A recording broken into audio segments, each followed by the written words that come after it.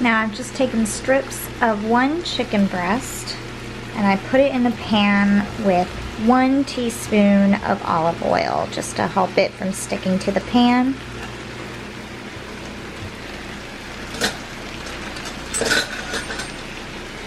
And I, I'm just going to make sure they stay separated in the pan.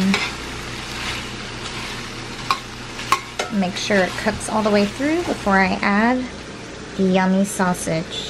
I took about half of the large link of sausage. This is hickory smoked. I cut it up into thin pieces just like I did with the chicken. And I kind of set that aside until the chicken is done cooking as far as pinkness. And you'll want your chicken to brown at some point, usually uh, while you're adding the sausage. So you just kind of make sure it doesn't stick to the pan.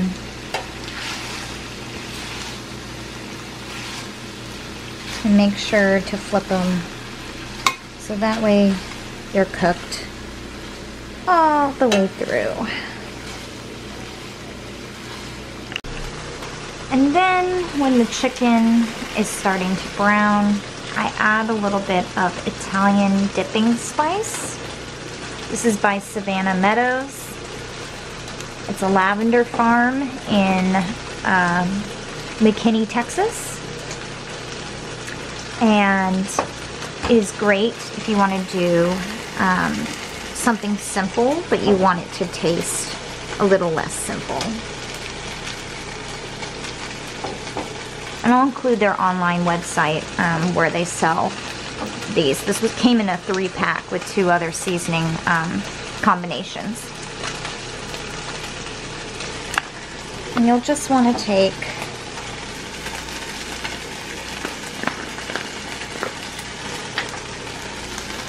see it has a little top.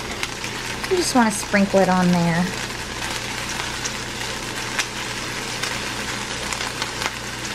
as much as you like.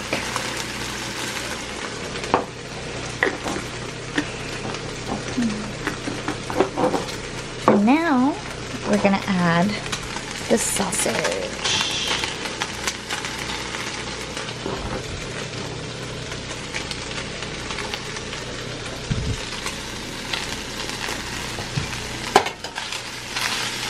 See how it's starting to brown? That's good.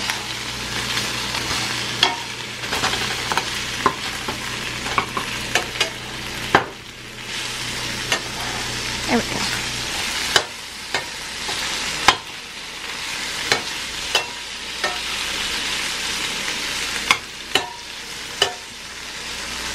Now when I add the sausage, I want to turn down the heat from a 6 to a 4.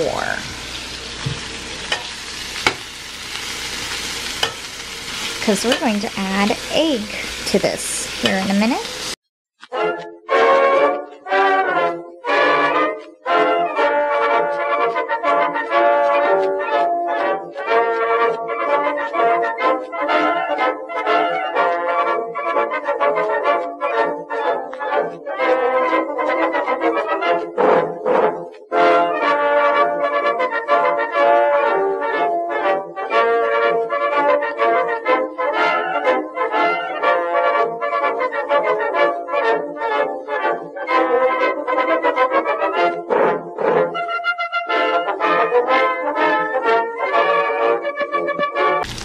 I just flipped over the sausages and you see how brown they are on one side? That's actually how you want them.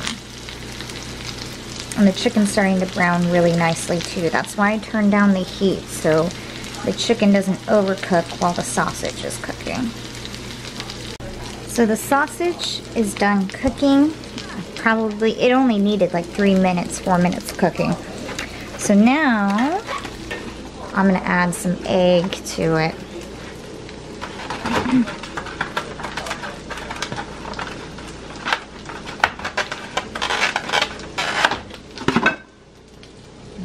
So for two people, I did half of a big sausage link, one chicken breast, and I'm gonna start out with two eggs. Now if I feel like that's not enough, I'll go three. But if you want to do four people, you can do two chicken breasts and a full link of sausage and four to six eggs, depending how much egg you want in there. But it's going to be really yummy. So here in a second, I'll show you what it looks like after I put the egg in there and I just kind of scramble it in with all the other in ingredients. I just kind of scramble it in with all of the uh, ingredients in the pan.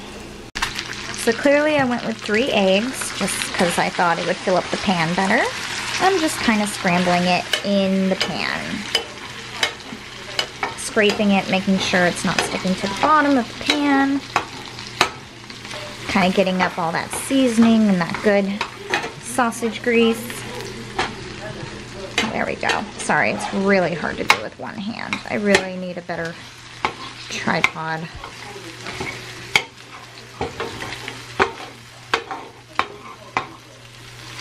And just make sure that egg fully cooks but doesn't overcook. Now if you're worried about burning the egg, it'll take a little longer to cook, but you can always turn it down a couple of notches if you like, down to a simmer. If you have an electric stove, it'd be like a, a two or three. I have it at a four still, so.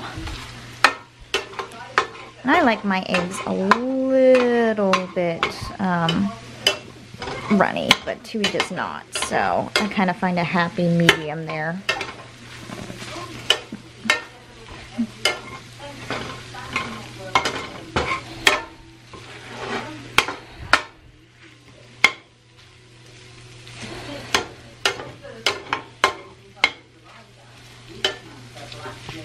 And I think that's going to be about it. I'm going to turn the stove off. And I'm going to remove the pan to the back uh, where there's no burner running. And then uh, I'm going to set up a plate.